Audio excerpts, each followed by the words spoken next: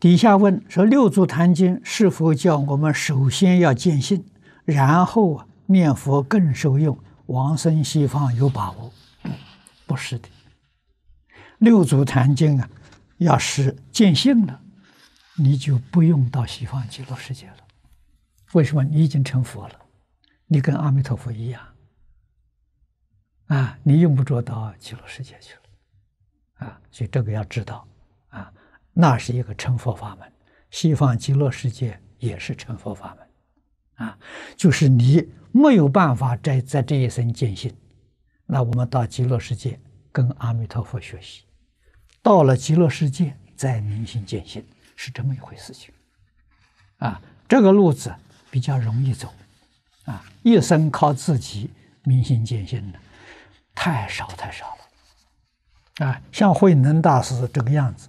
我三个老师都告诉我，啊，方东梅先生、张家大师、李炳南老居士，三个老师都告诉我，你决定做不到，非常肯定，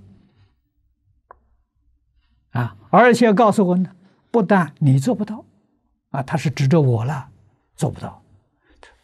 慧能大师之前没有看到一个人能做到。慧能大师之后到现在一千三百多年，也没有听说有一个人会做到。这叫顿悟。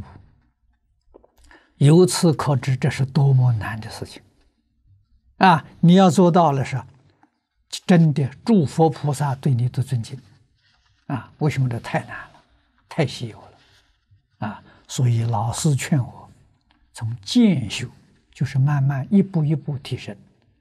一下放不下吧，慢慢放，啊，走这个路子，到极乐世界之后再彻底放下，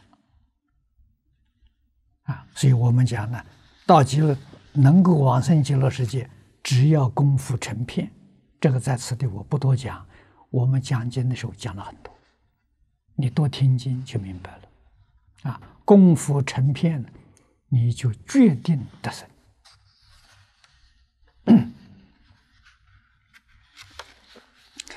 再看下面一个问题，他说：“怎样从真如自信下手？见性了，是否生死就自在了？见性，生死就没有了。”啊，慧能大师见性的，告诉我们：见性之后，你的心清净了。啊，何其自信，本自清净，本不生灭，就生死没有了，本自具足。啊，本不动摇，能生万法，啊，你就成究竟圆满的佛果了，啊，你跟释迦弥陀没有两样，啊，你要问怎样从真如自信下手，我觉得你不必问，啊，就像我的老师教我，你不可能，啊，你这一生做不到，还是老实念佛有把握。